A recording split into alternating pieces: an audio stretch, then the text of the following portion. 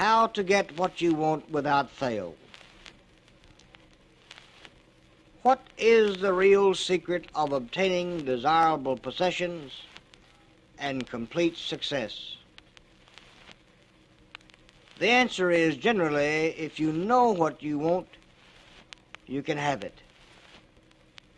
Now, you brown baggers will remember the Little It Works book by R.H.J. and its standard material for all you BBs, and I hope you have all read it over and over again. For it presents a concise, definite, resultful plan with rules, explanations, and suggestions for bettering your conditions in life. Now, we want to take about 5% of this total album and let yourself be reminded and re inspired by listening to the condensation and elaboration and further embellishment of this little idea in this fine little book. To have it on this record so you can adopt this plan as normal procedure in your daily life, for truly it does work. Now, are some people born under a lucky star or other charm which enables them to have all that which seems so desirable? And if not, what is the cause of the difference in conditions under which men live? From a scientific, psychological, or theological viewpoint, some of the following statements may be interpreted as incorrect, but nevertheless, the plan has brought the results desired to those who have followed the simple instructions. You know, as the little book says, if wishes were horses, beggars would ride. And this is the attitude taken by the average man and woman in regard to possessions. They are not aware of a power so near that it is overlooked, so simple in operation that it is difficult to conceive, and so sure in result that it is not made use of consciously or recognized as the cause of failure or the cause of success. Gee, I wish that were mine, is the outburst of Jimmy the office boy as a new red roadster goes by. And Florence, the telephone operator, expresses the same thought regarding a ring in the jeweler's window, while poor old Jones, the bookkeeper, during the Sunday stroll, replies to his wife, Yes, dear, it would be nice to have a home like that, but it is out of the question. We will have to continue to rent. And Landon, the salesman, protests that he does all the work gets the short end of the money and will someday quit his job and find a real one. And President Bondum, in his private sanctorium, voices a bitter tirade against the annual attack of hay fever. At home it is much the same. Last evening, father declared that daughter Mabel was headed straight for disaster, and today, mother's allowance, problems, and other trying affairs fade into insignificance as she exclaims, this is the last straw. Robert's schoolteacher wants to see me this afternoon. His reports are terrible, I know, but I'm late for bridge now. She'll have to wait until tomorrow. So goes the endless stream of expressions like these from millions of people in all classes who give no thought to what they really want and who are getting all they are entitled to or can expect. If you are one of these millions of thoughtless talkers or wishers and would like a decided change from your present condition, you can have it. But first of all, you must know what you want, and this is no easy task. When you can train your objective mind, that's the mind you use every day, your educated mind, to decide definitely upon the things or conditions you desire, you will have taken your first big step in accomplishing or securing what you know you want. To get what you want is no more mysterious or uncertain than the radio waves all around you. Tune in correctly, and you get a perfect result. But to do this, it is, of course, necessary to know something of your equipment and have a plan of operation. You have within you a mighty power, anxious and willing to serve you, a power capable of giving you that which you earnestly desire. This power is described by Thomas J. Hudson, Ph.D., LL.D., author of The Law of Psychic Phenomena, as your subjective mind. It is described by us in our research foundation school as innate. This is the term we find best to fit the chiropractic needs. Other learned writers use different names and terms, but all agree that it is omnipotent. Innate within it, we call it. Actually, simply, this is God in us. Regardless of the name of this great power or the conscious admission of a God, the power is capable and willing to carry to a complete and perfect conclusion every earnest desire of your objective mind, but you must be really in earnest about what you want. Occasional wishing or half hearted wanting does not form a perfect connection or communication with your omnipotent power.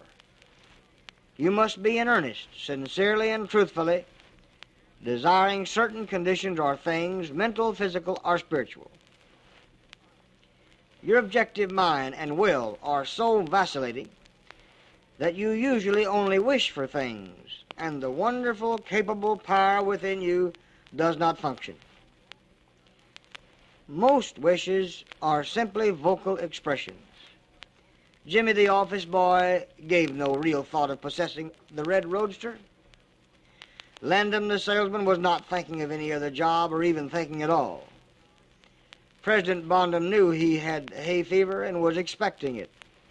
Father's business was quite likely successful, and Mother no doubt brought home first prize from the bridge party that day, but they had no fixed idea of what they really wanted their children to accomplish and were actually helping to bring about the unhappy conditions which existed. Now, brown baggers, if you are in earnest about changing your present conditions, enlarging your place, buying a new home, more furniture, more office equipment, building a clinic, all the other things that you grope to do as a result of the teachings of success. Here is a concise, definite, resultful plan with rules, explanations, and suggestions. Listen to them over and over again. Write down on paper, in order of their importance, the things and conditions you really want. Do not be afraid of wanting too much. Go the limit in writing down your wants. Change the list daily, adding to or taking from it until you have it about right. Do not be discouraged on account of changes, as this is natural.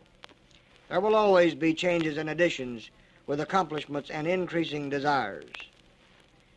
Now, there are three positive rules of accomplishment. Number one, Read the list of what you want three times each day, morning, noon, and night. Read it more if you have an opportunity. Number two, think of what you want as often as possible. Number three, do not talk to anyone about your plan except to the great power within you which will unfold to your objective mind, your educated mind, the method of accomplishment. Now, it is obvious that you cannot acquire faith at the start. Some of your desires, from all practical reasoning, may seem positively unattainable, but nevertheless, write them down on your list in their proper place of importance to you. Now, you will remember the infallible law of innate.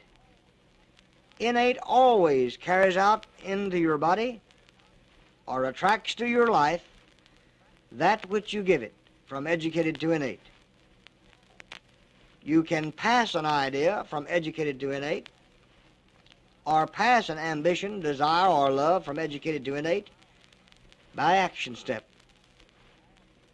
By realizing that nature will give you what you act like you already have. Just remember and have faith or knowledge in the truth that innate intelligence will always bring into your mission, talent, and destiny that which you have faith in.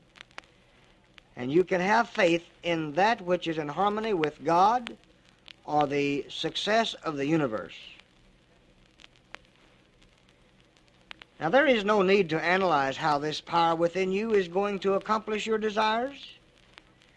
Such a procedure is as unnecessary as trying to figure out why a grain of corn, placed in fertile soil, shoots up a green stalk, blossoms and produces an ear of corn containing hundreds of grains, each capable of doing what the one grain did. If you will follow this definite plan and carry out the three simple rules, the methods of accomplishment will unfold to your educated quite as mysteriously as the ear of corn appears on the stalk, and in most cases much sooner than you expect. When new desires, deserving position at or about the top of your list, come to you, then you may rest assured you are progressing correctly. Removing from your list items which at first you thought you wanted is another sure indication of progress. It is natural to be skeptical and have doubts, distrust, and questionings. But when these thoughts arise, get out your list. Read it over. Or if you have it memorized, talk to your inner self, to your innate, about your desires until the doubts that interfere with your progress are gone. Have faith in innate. Have confidence in innate. Believe in innate. Know that innate is the infallible power within that will carry out the ambitions, the desires, the loves you give to it through action. Remember, nothing, simply nothing, can prevent your having that which you earnestly desires. Others have these things, why not you? The omnipotent power within you does not enter into any controversial argument. It is waiting and willing to serve when you are ready but your objective mind is so susceptible to suggestion, that's the innate mind that's so susceptible to suggestion, that it is almost impossible to make any satisfactory progress when surrounded by skeptics. Therefore, choose your friends carefully and associate with people who now have some of the things you really want. But do not discuss your methods of accomplishment with them. Put down on your list of wants such material things as money, home, automobile, or whatever it may be, but do not stop there. Be more definite. If you want an automobile, decide what kind, style, price, color, size, and all the other details, including when you want it. If you want a home, plan the structure, grounds, and furnishings. Decide on location and cost. If you want money, write down the amount. If you want to break a record in your business, put it down. It may be a sales record. It may be a record of new patients. It may be a record of daily traffic flow. It may be a record of sufficient new patients and regular patients for a year's time to build a new clinic. If so, write out the total income, the total patients, the date required, then the number of total patients you'll have to have in a week, month, or a year to make this come true. Also, list and put after each name that you might have the sum expected. This may seem very foolish at first, but you can never realize your desires if you do not know positively and in detail what you want and when you want it. If you cannot decide this, you are really not in earnest. You must be definite, and when you are, results will be surprising and almost unbelievable a natural and ancient enemy will no doubt appear when you get your first taste of accomplishment.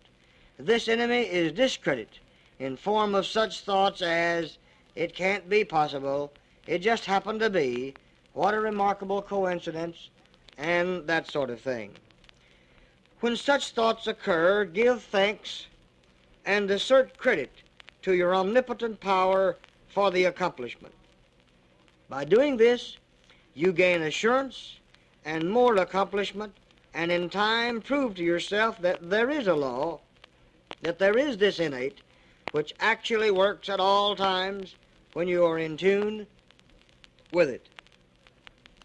Sincere and earnest thanks cannot be given without gratitude, and it is impossible to be thankful and grateful without being happy.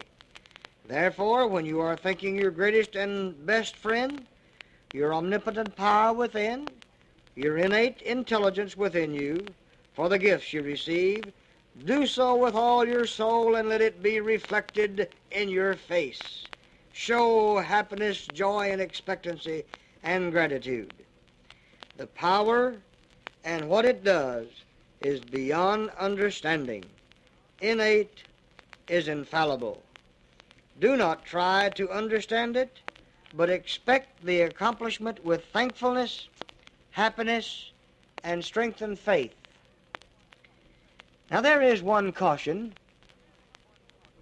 It is possible to obtain that which will make you miserable, that which will wreck the happiness of others, that which will cause sickness and death, that which will rob you of eternal life. You can have what you want, but you must take all that goes with it. So in planning your wants, plan that which you are sure will give to you and your fellow man the greatest good here on earth, thus paving the way to that future hope beyond the pale of human understanding. This method of securing what you want applies to everything you are capable of desiring, and the scope being so great, it is suggested that your first list consist of only those things which you are quite familiar, such as an amount of money or, or an accomplishment, or a new clinic, or larger quarters, or more daily traffic and patients, or the possession of mere material things. Such desires as these are more easily and quickly obtained than the discontinuance of fixed assets, than the discontinuance of fixed habits, the welfare of others, and the healing of mental and bodily ills. Accomplish the lesser things first, then take the next step. And when that is accomplished, you will seek the higher and really important objectives in life. But long before you reach this stage of your progress, many worthwhile desires will find their place on your list. One will be to help others as you have been helped. Great is the reward to those who help and give without thought of self, as it is impossible to be unselfish without gain. Now, brown baggers in conclusion, throughout history, certain men expounding on the human solution to a better life have shown thousands of people how to help themselves. Thousands of others spoofed at the idea, refuses assistance, and are today where they were in the beginning. And it is so with the statements and plans presented to you now. You can reject or accept. You can remain as you are, or you can have anything you want. The choice is yours.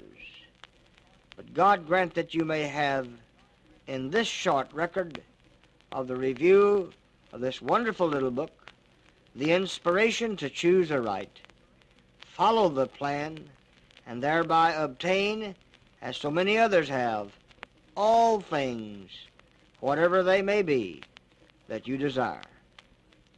Now, brown baggers listened to the entire record over and over again and again and then again. Read the booklet frequently. You simply cannot get too much of this.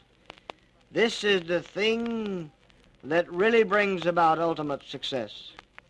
It's not the gimmicks, gadgets, nor geography that brings about final, complete, healthy, happy referral practice in any community. It's not the geography, nor necessarily the technique applied. It is the consciousness, the awareness, the practice consciousness healing consciousness, practice awareness, healing awareness, practice power, healing power, the concept of these things that finally and ultimately bring about complete success. It is your personality. Memorize the three simple rules of accomplishment. Write them down. Write down what you want follow the advice herein. Test them. Test them right now on what you want this minute. Now, this record, like the little book, could have extended easily over five or six or seven hours, but it has been deliberately shortened to make it easy as possible for you to understand and use. Will you try it, brown baggers? Thousands of bettered lives will testify to the fact that it works and will testify that this is how to get what you want without fail.